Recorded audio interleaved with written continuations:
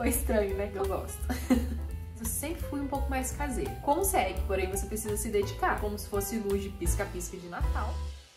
Oi gente, mais um vídeo aqui no canal. Hoje eu vou responder perguntinhas que vocês me fizeram lá no Instagram. De vez em quando eu apareço aqui com esse vídeo, né, respondendo as dúvidas de vocês. Abri a caixinha lá no Instagram, falei que podia perguntar sobre qualquer tema, então selecionamos algumas aqui para eu responder para vocês. Espero que vocês gostem e bora lá começar o vídeo. Bom, já estou com o meu computador aqui do lado.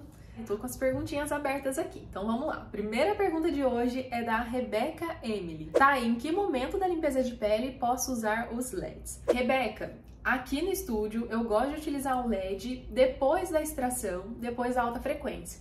Então vamos lá, fez a extração, terminou, aplicou a alta frequência, eu aproveito que eu já estou com o aparelho ligado, que é a minha plataforma Estímulos Face Max da HTM. Aproveito que ela tá ligada e eu já uso o LED também. E aí eu escolho se eu quero o LED azul ou o LED vermelho, por enquanto eu tenho somente os dois. Eu quero comprar em breve o LED Amber, mas é isso, eu utilizo depois da alta frequência então, antes da máscara calmante. Aproveitando que nós estamos falando de LED, eu tenho outra perguntinha aqui relacionada a isso. Michele.castro perguntou: Essa máscara de LED é válido comprar? Michele, eu já tive a máscara de LED, tá? Faz muito tempo, no meu primeiro ano de atendimento, quando eu não entendia muito bem sobre potência e tudo mais. Eu vi que estavam vendendo a máscara de LED, fiquei super empolgada, procurei na internet, achei tipo os benefícios e tudo mais, falei, vou comprar. Comprei, sorte que eu paguei barato na época, tá? Porém, fazia um curso ali, outro curso aqui, e os professores começaram a falar que a máscara de LED ela não tinha aquela potência necessária para uma sessão. Muitos falavam até que a luz de LED das máscaras era como se fosse luz de pisca-pisca de Natal.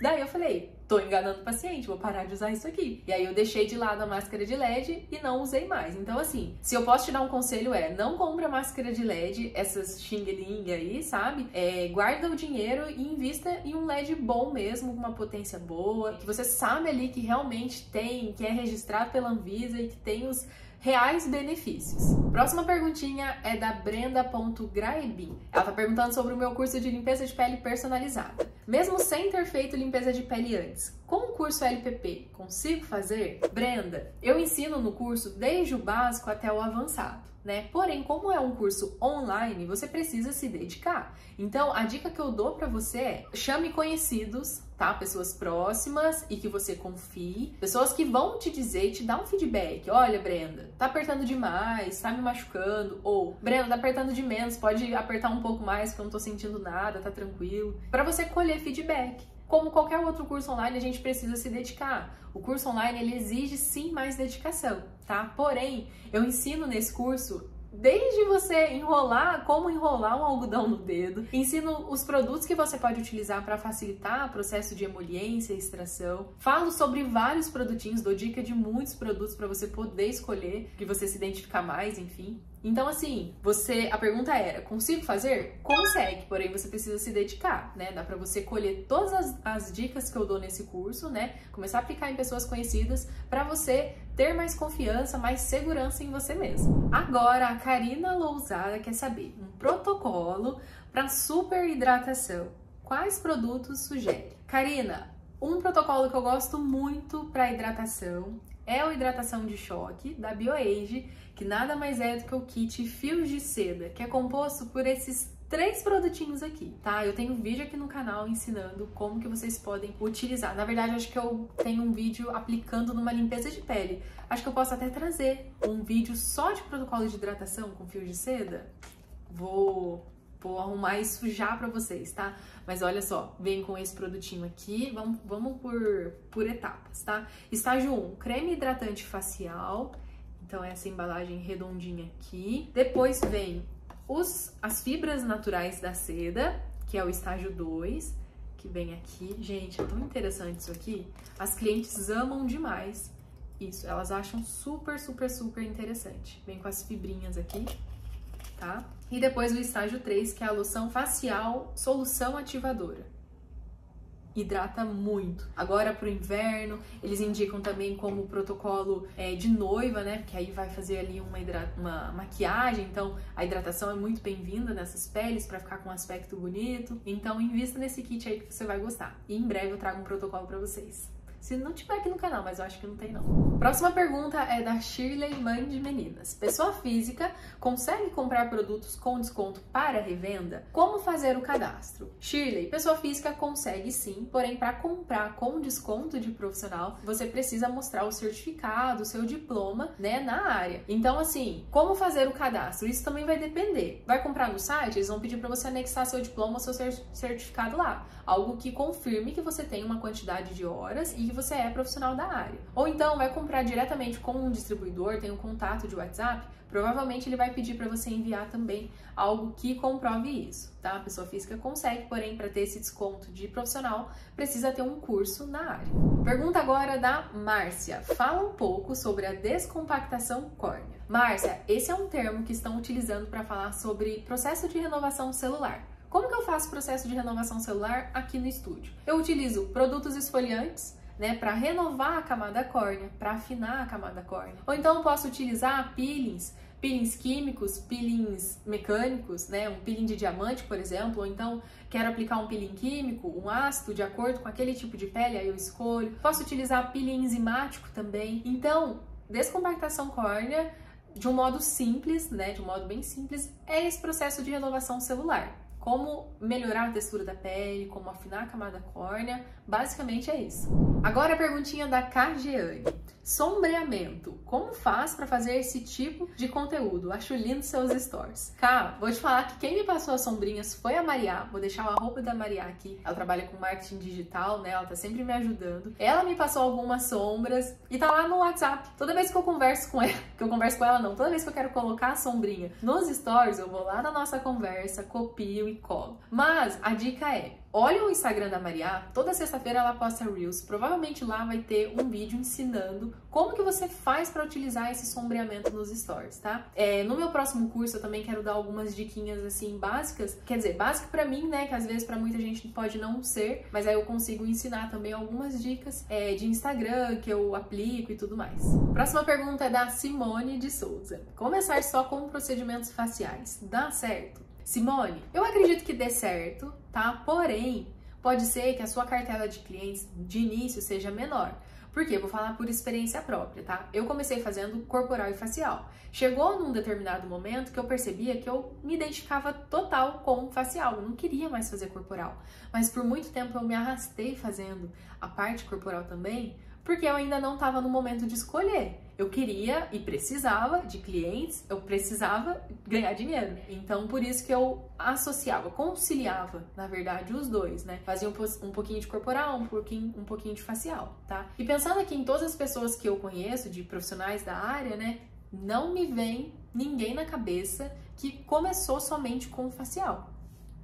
Não consigo lembrar de ninguém por agora. Mas isso não quer dizer que não vai dar certo, tá? Eu até vi uma outra pergunta aqui que daqui a pouco eu vou responder e tá relacionado ao que eu vou te falar agora também, que é o seguinte: para mim, a melhor ferramenta em relação a marketing funcionou para mim super e ainda funciona é o Instagram. Então, por exemplo, vou começar a trabalhar, quero trabalhar só com facial, então eu vou bater muito na tecla que eu faço procedimentos faciais e aí eu vou começar a mostrar as opções que eu tenho. Então assim, quer começar a trabalhar com facial, começa a falar para as pessoas quais procedimentos você faz, começa a mostrar resultado. Ai, não tenho muita clientela ainda? Chama a prima, chama a amiga, a irmã, a mãe, a tia, enfim. Mostra que você está trabalhando, quais os procedimentos você faz, né, os resultados que você consegue porque isso também pode dar certo, tá? Não é porque eu não fiz, não é porque as pessoas que eu conheço não fizeram que com você não vai dar certo, né? Não existe regra. Encontrei aqui as duas perguntinhas relacionadas ao que eu acabei de responder. Olha só.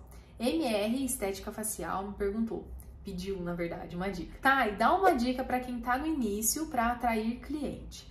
E depois a estética Lara Ribeiro perguntou o seguinte: no seu início, como fez para captar clientes? Gente, eu tenho duas dicas aqui para dar para vocês. Primeiro é, deem uma olhada, tá? Com carinho no Instagram de vocês. Tô falando Instagram porque para mim, né, como eu disse, é a maior ferramenta para você mostrar o seu trabalho. Então, você vai olhar seu Instagram e você vai pensar com cabeça de cliente. Se eu entrasse no meu perfil, o que eu acharia ali? O que eu pensaria? As fotos estão boas? O assunto tá legal que eu tô abordando? Então, assim, tem que ser interessante, né, para as pessoas que chegam, elas olharem ali e terem vontade de ficar eu sempre olhei o Instagram como ferramenta de trabalho mesmo. Muitas pessoas que eu atendo hoje vieram por conta do Instagram. Ou então alguma cliente que veio, me marcou lá nos stories, enfim, a outra pessoa viu, ficou com vontade de vir. Por quê? Clicou no meu perfil, gostou e ficou e ficou interessado. A minha maior ferramenta de como captar clientes é pelo Instagram e depois por indicação e tudo mais. Tá? É, eu também quero dar outra dica para vocês em relação a nichar o que você mais gosta de, de, atender, o procedimento que você mais gosta de fazer. Por exemplo, eu lembro que esses dias uma moça entrou em contato comigo, não lembro agora o nome dela, mas ela falou assim: Pai, quero fazer mais procedimento X e eu não consigo. Aí ela falou, né, outros procedimentos que ela fazia e tudo mais. Acho que ela queria fazer limpeza de pele e ela não estava conseguindo clientes para isso. Aí eu cliquei no perfil dela. Tinha um monte de foto de piercing. Ah, ela também aplica piercing. E aí eu falei assim, como que as pessoas que chegam no Instagram dela vão imaginar que ela faz limpeza de pele? Porque lá só tinha foto de piercing. Vocês entenderam? Então, assim, tem que tomar muito cuidado em relação a postar um procedimento só. Tem que mostrar o que vocês fazem. Por isso que se vocês olharem no meu Instagram, vocês vão me ver falando sobre limpeza de pele, é, vai ter lá um pouco sobre peeling, um pouco sobre microagulhamento, um pouco sobre nanoagulhamento, para quem chegar a olhar e falar, nossa, ela faz esse procedimento, ah, ela faz esse procedimento também, entendeu? Então tem que é, ficar esperto, postar, né, mais o que você quer atender. Próxima perguntinha é da FS Alessandra. Qual sabonete facial indica para quem tem melasma, tá? Ale, para todas as minhas pacientes que têm melasma, eu sempre opto por esse aqui tá? Ou esse aqui. Na maioria das vezes, né? Sempre não, porque depende de cada pele, né? Se a pele tiver mais sensível, por exemplo, eu indico um gel homeostático da Element, tá? Mas na maior parte dos casos eu indico ou esse ou esse. Esse aqui é um sabonete antioxidante, o Fan R da Element. Ele tem nanoresveratrol, tem fitoesqualane também. Então é um sabonete maravilhoso, antioxidante, hidratante, revitalizante. Ele vem em espuma então é um produto que rende muito, tá? E é super cheiroso, é um dos sabonetes mais cheirosinhos assim que eu conheço. E outro produto bem legal também, e que é bem chamativo, porque aqui no, no rótulo já tá escrito sabonete clareador. E além dele ser clareador, ele também ajuda a hidratar a pele, porque ele tem ácido hialurônico, tá? Daí tem niacinamida, tem ácido tranexâmico, tem vitamina E, então acaba sendo antioxidante também. É legal porque já usei sabonetes clareadores que conforme você vai utilizando dia após dia, ele tende a ressecar a pele. E esse aqui não. E eu sei que tem pacientes que não gostam do sabonete em espuma, não gosta dessa forma, gostam do sabonete em gel. Então, essas duas opções para quem tem melasma é muito bom. Sabonetes com vitamina C também são super interessantes.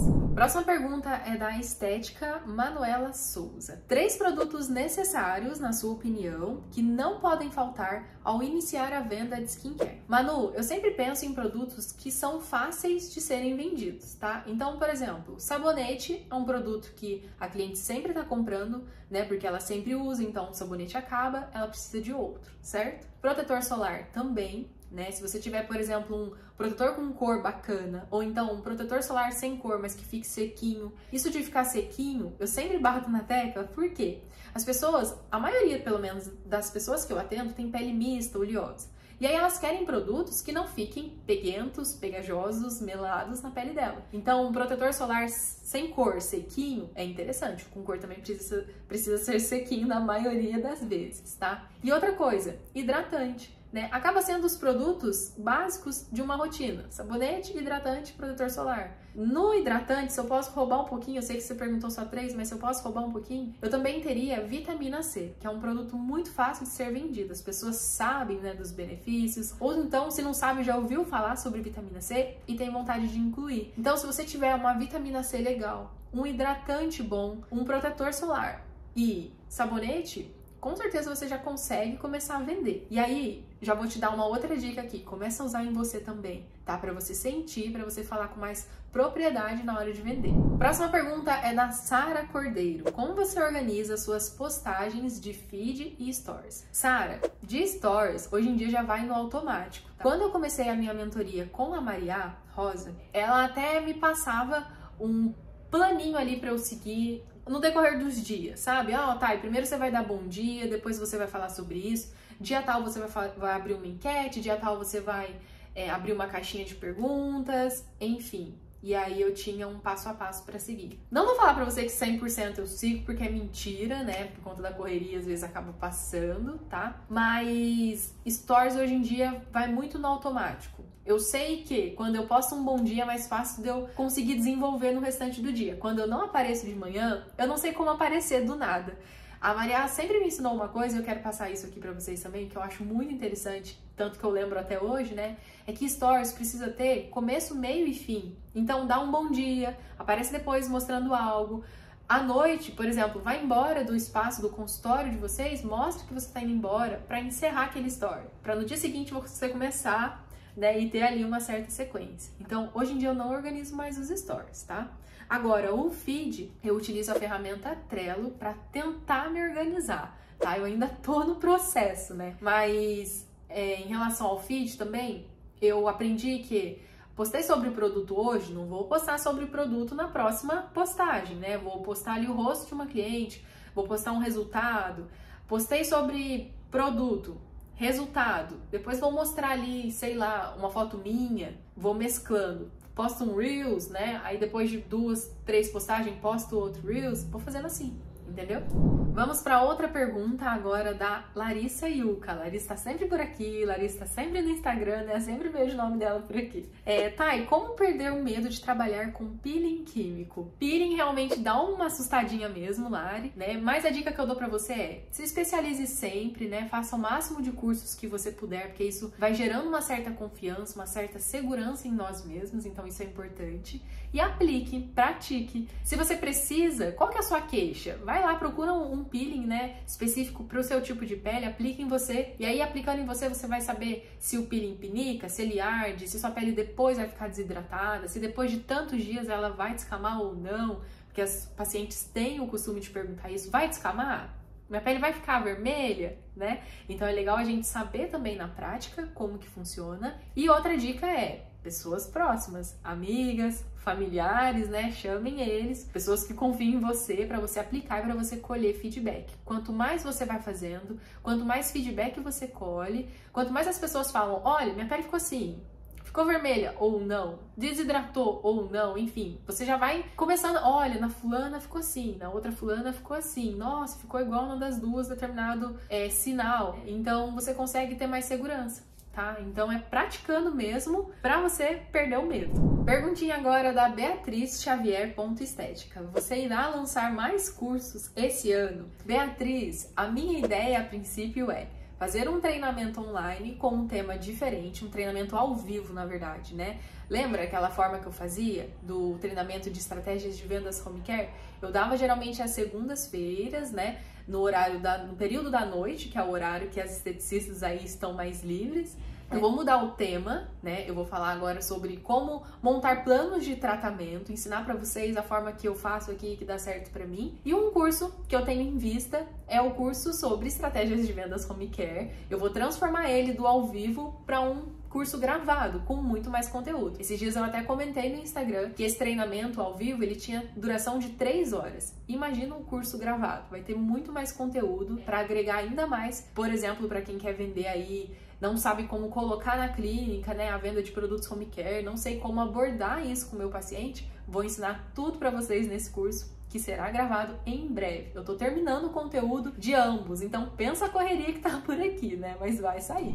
Próxima pergunta é da Fernanda Ribeiro, esteticista. Qual medidor de água e óleo você indica? Fer, o meu queridinho é esse aqui, o Skin Up. Eu sempre tive ele, assim, desde que eu comecei a trabalhar e eu nunca tive problema. Pra você ter uma ideia, ele é super forte, porque até a pilha eu troquei pouquíssimas vezes. De verdade, dá pra contar nos dedos quantas vezes eu troquei. Eu gosto muito dele, nunca me fez passar vergonha, porque tem algumas amigas que compraram de outras marcas e falaram: Nossa, eu passo vergonha. Porque no final do procedimento eu vou olhar, tá água menor, tipo, né, o nível, a porcentagem menor do que quando começou, o óleo tá maior, eu fico cara de taxa pro paciente. Esse aqui, graças a Deus, nunca me fez passar vergonha. Tem uma outra marca, fora o Skin Up, que eu também já ouvi feedbacks bons de amigas, que é o da Estek. Se não me engano, ele é branco com pink, perto aqui é pink, mas já ouvi falar bem. Tá? Então, Skin Up ou Stack, se você for comprar, são analisadores que eu já ouvi falar bem e, né, no caso esse já testei e dá super certo. Agora, se você for comprar da Skin Up, ele tá até invertido, não é mais água e óleo. Esse meu aqui é bem velhinho, mas funciona super bem. Agora é óleo e água, mas enfim, tá? A qualidade dele é muito bom. Próxima perguntinha da Maria Rosa MKT. Olha ela aqui. E a Maria tá me perguntando qual o seu hobby favorito. Má, meu hobby favorito, olha só. Eu gosto muito de ficar de bobeira em casa, assistindo vídeo no YouTube, tá? Eu amo assistir algumas blogueiras, acompanhar algumas blogueiras. Me contem que as blogueiras que vocês gostam nos comentários, tá? Pra eu dar uma olhada no canal delas depois.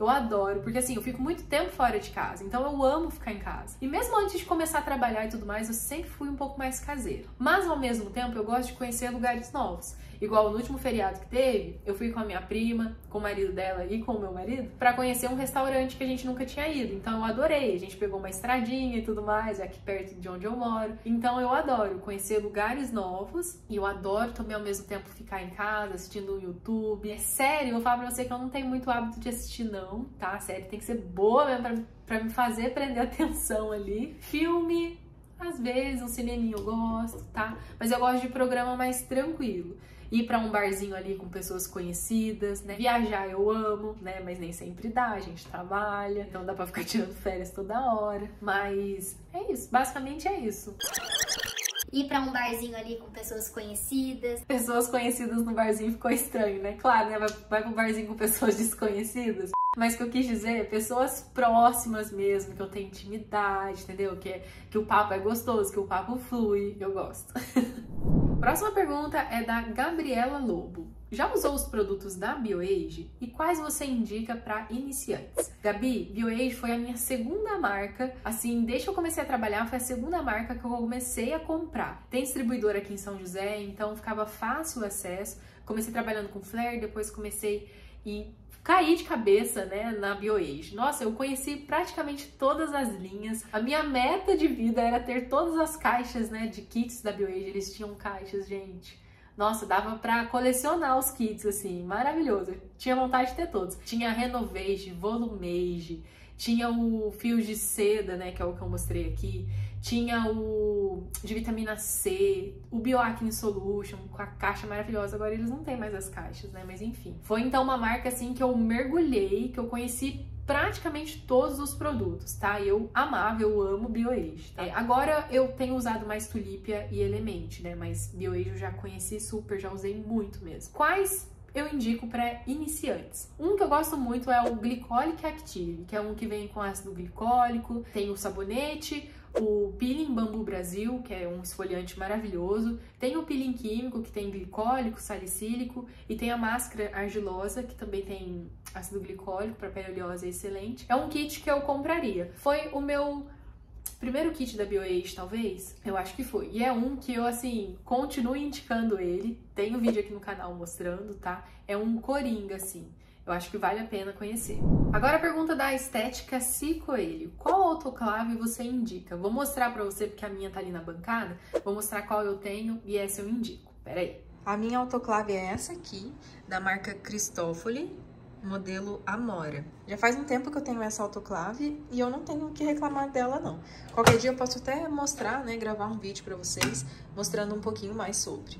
Bom, gente, o vídeo de hoje foi esse. Vou encerrar por aqui. Muito obrigada a todo mundo que mandou as perguntas, tá? Selecionei algumas, queria responder todas, mas esse vídeo ficaria imenso, então não tem como. Então o que eu vou fazer é continuar de vez em quando abrindo as caixinhas para trazer as perguntas, né, para cá, para conseguir responder. Eu acho aqui muito melhor para responder, porque lá no, no Instagram eu tenho um minuto por story, né? E aí se a gente ficar falando demais, o pessoal só vai passando o dedinho, né? Então aqui é legal porque eu consigo desenvolver melhor, consigo mostrar mais, né? Eu fico mais à vontade. Então em breve Abro mais caixinhas de perguntas lá e aí, por favor, continue mandando mensagem, é, comentando, né? Perguntando, questionando lá, tá certo? Deixa o like pra mim se você gostou desse vídeo e não esqueça de se inscrever no canal. Toda quarta e todo domingo tem vídeo novo aqui, tá bom? Vou ficando por aqui então, um beijo, até o próximo, tchau!